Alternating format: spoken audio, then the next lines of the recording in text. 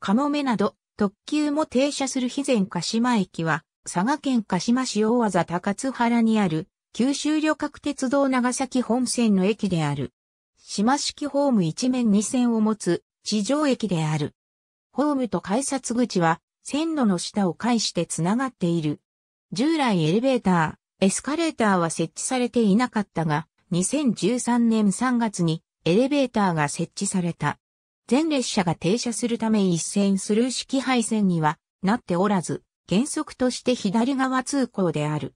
ただし折り返し列車もあるため、非前流王法から見て、右側にも入線できる。ステップ付きの783系電車が入線していた名残で、ホームのかさ上げは行われていなかったが、エレベーター設置と同時にかさ上げされ、バリアフリー対応となった。佐賀鉄道部が管理する業務委託駅で JR 九州サービスサポートが受託。緑の窓口が設置されている。自動券売機はあるが、自動改札機は設置されていない。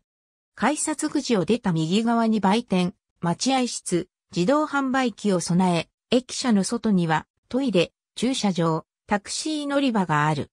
2019年度の1日平均乗車人員は1163人である。利用客の多くは、肥前山口方面へ向かっており、諫早長崎方面へは少ない。